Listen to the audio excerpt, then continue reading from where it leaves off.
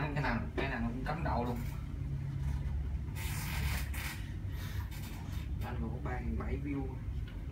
Nhìn phải phải này là cái mức độ cạnh tranh nó cao rồi.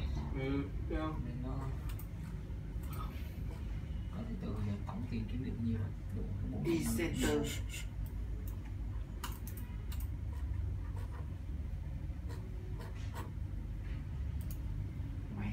lấy xe rồi phải lấy xe. Xong phải gửi nhét lại.